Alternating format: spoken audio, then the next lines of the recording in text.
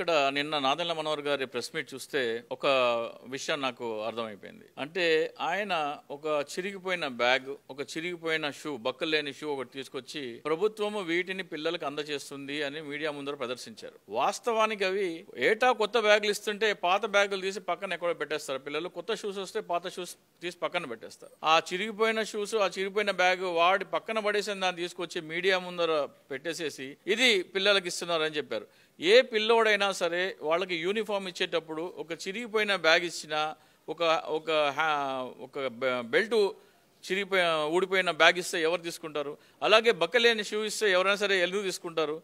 So గత సంవత్సరం వాడి పడేసి ఆ పడేసిన దాంట్లో ఏరుకొచ్చి మీడియా ముందర పెట్టి ప్రభుత్వాన్ని అప- అప్రతిష్ట పాలు చేయాలని చెప్పేసి ఒక ప్రయత్నం చేశారు. అలాగే పాడి పశువుల విషయంలో కూడా హెరిటేజ్ కోసం ఆంధ్రప్రదేశ్లో ఉన్న డైరీని ఎలా చంద్రబాబు నాయుడు చంపేశారో దాదాపు ప్రజలందరికీ తెలుసు. అంతకంటే లీటర్కి మూడు రూపాయలు ఎక్కువ ఇస్తున్న అమూల్ సంస్థను తీసుకొచ్చి రైతులకు లబ్ధి చేకూర్చాలని చేసిన ప్రయత్నంలో భాగంగా ఎక్కడ వీళ్ళకి ఈ ప్రజలందరికీ నిజాలు తెలిస్తే తమ ఓటు బ్యాంక్ అసలే దిగజారుడు పరిస్థితిలో ఉంది party Telugu Desam party and Janasena party. వాటికి ఉన్న ఓటు బ్యాంక్ ఇంకా సార్ దిగజారిపోయి నూట డెబ్బై ఐదుకి బై నూట డెబ్బై ఐదు ఎక్కడ వచ్చేస్తుందనే భయం వాళ్ళకి పట్టుకున్నట్టు కనబడుతుంది. ఎందుకంటే జగన్మోహన్ రెడ్డి గారు కీలకంగా ఇందాక రత్నాకర్ అన్న చెప్పినట్టు ప్రపంచ స్థాయికి తీసుకెళ్ళారు. అంటే మన ఆంధ్రప్రదేశ్లో ఏ ఛానల్ చెప్పలేదు కానీ ప్రభుత్వ పాఠశాలల్లో చదివే పేద విద్యార్థులు వెళ్ళి అక్కడ ప్రసంగించారు. అంటే వాళ్ళకి జిల్లా హెడ్ క్వార్టర్ కూడా బహుశా వాళ్ళు చూసుంటారు జిల్లా హెడ్ క్వార్టర్ కూడా చూడని వాళ్ళని రాష్ట్రం దాటి దేశం దాటి ప్రపంచ వేదికల మీద అమెరికా అధ్యక్షుడు రష్యా అధ్యక్షుడు ప్ర- ప్రసంగించే చోట్ల నుంచి పిల్లల్ని మాట్లాడించారంటే విద్యా రంగం ఏ స్థాయిలో దూసుకుపోతుందో ప్రజలందరికీ అర్థమైంది. అలాగే ఒక ప్రభుత్వ పాఠశాల స్టేట్ ర్యాంక్ ఎప్పుడైతే కొట్టిందో స్టేట్లో నంబర్ వన్ టెన్త్ క్లాస్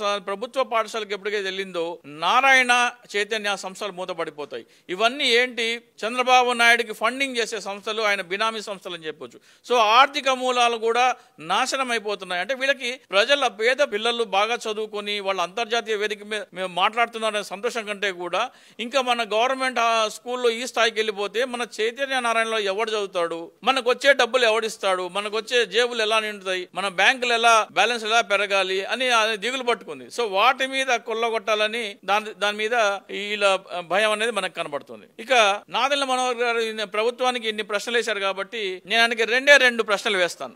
ఏ పార్టీ అయినా సరే అధికారంలోకి వస్తే అధికారంలోకి వచ్చిన తర్వాత అధికారాన్ని అడ్డు పెట్టుకొని అవినీతి చేస్తారు. కానీ జనసేన పార్టీ బహుశా దేశంలో కాదు ప్రపంచంలో మొట్టమొదటి పార్టీ అధికారంలోకి రాకుండానే అవినీతి ఎలా చేయాలో తెలిసిన పార్టీ. వీళ్ళు ఏం చెప్పారంటే క్రియాశీలక సభ్యత్వం కూడా తీసుకొచ్చారు. నాదెల్ల మనోహర్ గారు ఆలోచించారా? మరి ఎవరో వాళ్ళ ఆర్థిక సలహాదారు ఎవరో కానీ జనసేన పార్టీలో ఎవరైనా సరే క్రియాశీలక సభ్యత్వం కావాలంటే ఐదు వందల రూపాయలు వాళ్ళకి ఆ సభ్యత్వం తీస్తే వాళ్ళకి క్రియాశీలక సభ్యత్వం ఇస్తారు. వాళ్ళకి ఇచ్చే జనసేన పార్టీ ఇచ్చే బెనిఫిట్ ఏంటంటే వాళ్ళు గనక ఆ క్రియాశీలక సభ్యత్వం ఉన్న వాళ్ళు గనక ప్రమాదంలో మరణిస్తే వాళ్ళకి ఐదు లక్షల రూపాయల ప్రమాద బీమా లభిస్తుంది. ఇది వాళ్ళు చెప్పే స్కీమ్. వాళ్ళు ఏం చెప్తున్నారు? మీరిచ్చే ఐదు వందలు కాకుండా పవన్ కళ్యాణ్ గారు చెమటోడ్చి సినిమాలో సంపాదించే డబ్బులు కూడా జోడించి ప్రీమియం చెల్లిస్తున్నారు ఇన్సూరెన్స్ కంపెనీకి అని చెప్తున్నారు. ఇది పచ్చి బూటకం. ఎందుకంటే ఎవరి దగ్గర సరే మీ దగ్గర అందరి దగ్గర స్మార్ట్ ఫోన్స్ ఉన్నాయి ఈ రోజున. స్మార్ట్ ఫోన్ ఓపెన్ చేసి ఇన్సూరెన్స్ అనే దాని కింద రెండు మూడు ఉంటాయి.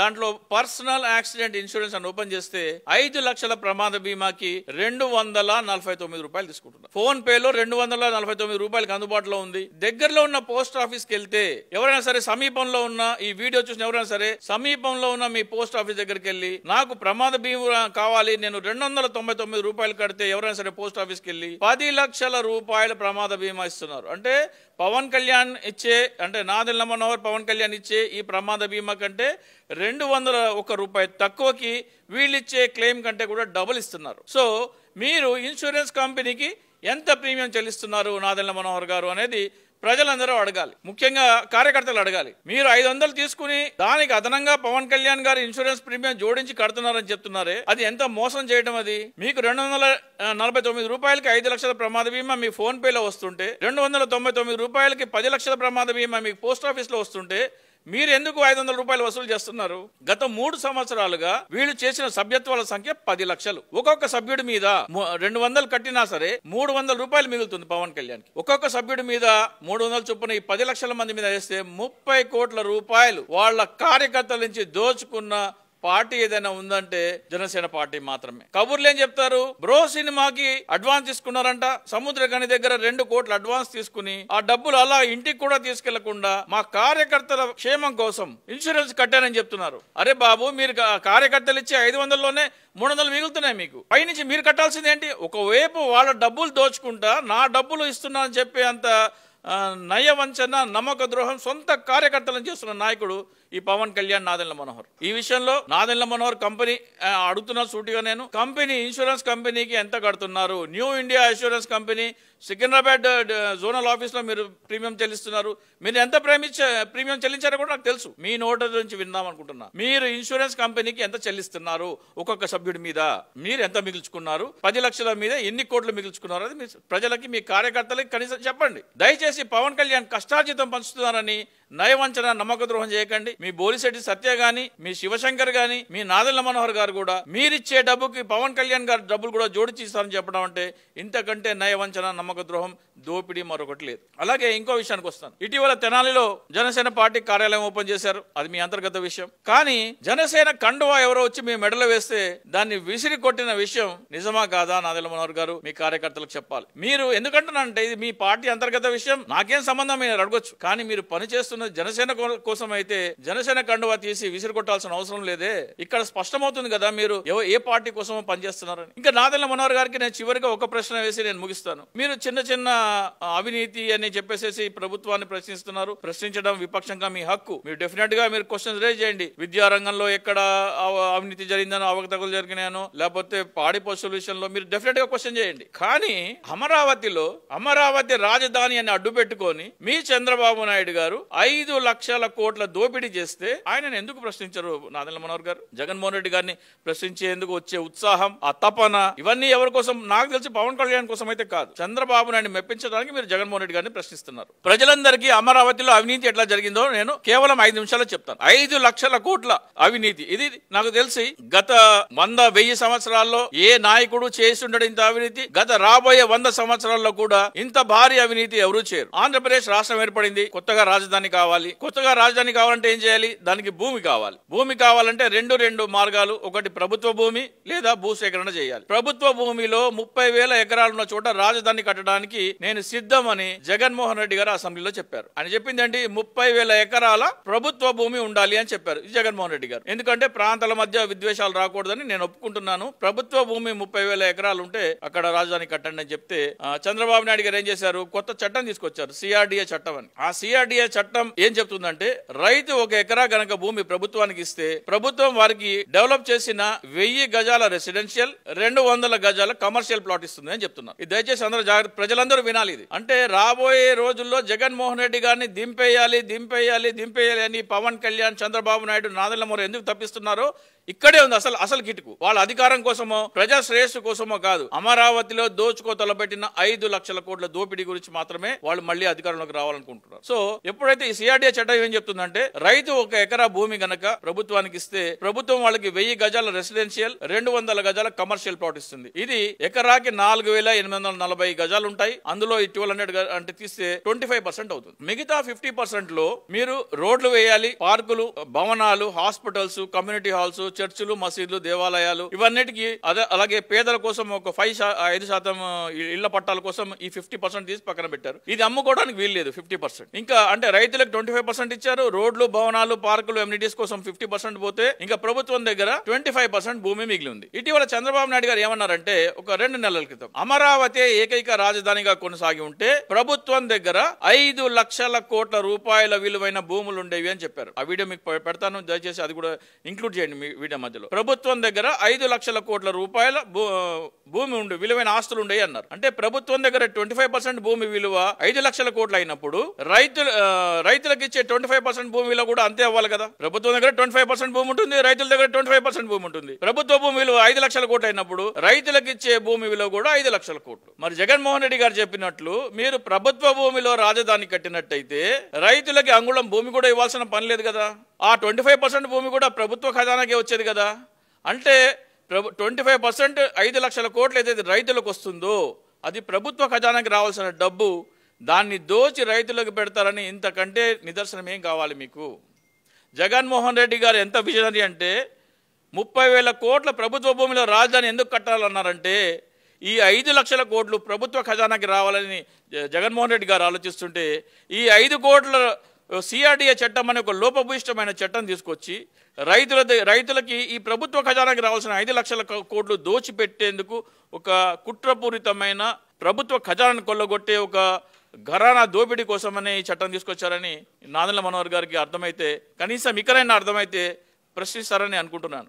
ఇంతకంటే పెద్ద దోపిడీ ఇంతకంటే పెద్ద ఇది నా నాకు తెలిసి గతంలో ఎప్పుడు జరగలేదు రాబోయే రోజుల్లో కూడా ఎప్పుడు జరగదు.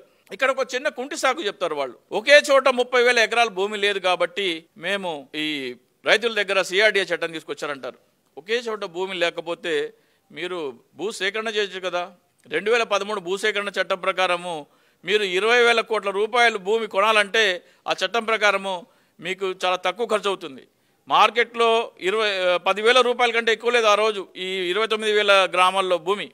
దానికి మీరు డబల్ ఇచ్చి చెల్లించిన అంటే ప్రభుత్వ రిజిస్టర్ ఆఫీసు విలువ కాదని చెప్పేది. మార్కెట్ విలువకి డబల్ ఇచ్చి చెచ్చి- చెల్లించినా కానీ ఆరు వేల ఆరు వందల కోట్లతో ఆ భూమి మొత్తం కొనే పని.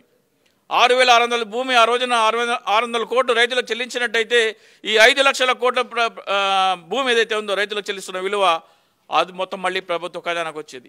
ఏ కొశాన చూసినా ఏ కోణంలో చూసినా సరే ప్రభుత్వం ఈ భూమి కొనుగోలు చేసినా సరే లేదా ప్రభుత్వ భూమిలో కట్టినా సరే రైతులకి ఐదు లక్షల కోట్ల రూపాయలు దోచిపెట్టడాన్ని ఈ అతిపెద్ద స్కామ్ని కూడా వాళ్ళు ఏం చేస్తున్నారు? రైతులు ఈ ఐదు కోట్ల కోట్లు దోచుకుంటూ కూడా ప్రభుత్వ ఖజానా నుంచి మేము దానం చేశాము మేము ధర్మం చేశాము మేము మేము రాష్ట్రానికి కోసం ఏదో మేలు చేశామని చెప్తున్నారు. ఇంతకంటే పెద్ద స్కామ్ ఎవరు కానీ ఇంతవరకు జరగలేదు. రాబోయే రోజుల్లో కూడా జరగదు. ఇది నాదల మనోహర్ గారికి నేను చెప్పేది అలాగే జనసైకులందరికీ నేను ఒకటి చిన్న విషయం చెప్తున్నాను. అసలు పార్టీ పవన్ కళ్యాణ్దా లేకపోతే చంద్రబాబు నాయుడుదా? చంద్రబాబు నాయుడు పార్టీ పెట్టారా? కేవలం అది పవన్ కళ్యాణ్ దానికి బినామీగా ఉంచారా అనేది ఒకసారి మీరు బెరీజ్ వేసుకోవాలి. ఈ అంశం మీద నేను పవన్ కళ్యాణ్ గారికి నూట పదహారు ప్రశ్నలు సంధించాను. రోజుకు ఒక ప్రశ్న సాక్షి టీవీలో ప్రసారం అవుతుంది. ఆ ప్రశ్న ఒకటే. ప- నూట పదహారు అంశాలలో మీరు ఆలోచిస్తే ఒకటే మీకు అర్థమవుతుంది. ముఖ్యంగా జన సైనికులకి ఈ యువత ఎస్- సినిమా పిచ్చిలో ఉన్న యువతకి ఒకటే అర్థమవుతుంది. ఈ జనసేన పార్టీ ఈ నూట పదహారు ప్రశ్నలు విన్న తర్వాత ప్రతి ఒక్కరికి కన్ఫర్మ్ అయిపోతుంది. జనసేన పార్టీ అనేది పవన్ కళ్యాణ్ది కాదు అది చంద్రబాబు నాయుడు స్థాపించిన పార్టీ. పవన్ కళ్యాణ్ కేవలం దానికి బినామీ. పవన్ కళ్యాణ్ పనితీరుని పర్యవేక్షించేందుకు ఒక రాజకీయ అనుభవం ఉన్న వ్యక్తి నాదిల మనోహర్ నియమించాలి కాబట్టి అతన్ని పవన్ కళ్యాణ్ మీద ఒక అబ్జర్వర్గా నియమించారు. దీనికి దీన్ని రాటిఫై చేయడానికి రెండే రెండు ఉదాహరణలు చెప్తాను. ఎన్డీఏ పార్టీ పార్టర్స్ అందరినీ మీటింగ్ పిలిచారు. పవన్ కళ్యాణ్ గురు వెళ్ళారు. నాదల మనోహర్ వెంట వెళ్ళారు. అక్కడ మన ఛానల్ వాళ్ళు ఒక మైక్ పెట్టి మీరు ఎందుకు వచ్చారు? ఎన్డీఏలో ఏం మాట్లాడదామని వచ్చారని పవన్ కళ్యాణ్ గారు మైక్ పెడితే నాకు తెలియదు మనోహర్ని అడగమంటాడు. పార్టీ అధ్యక్షుడు నువ్వు కదయ్యా బాబు పార్టీ నీదైతే నువ్వు కదా చెప్పాలి. నా రాష్ట్ర సమస్యల గురించి ఈ ప్రయోజనం ఈ ఇస్తే నేను మద్దతు ఇస్తాను. ఈ షరతుల మీద నేను మద్దతు ఇస్తానని చెప్పొచ్చు కదా.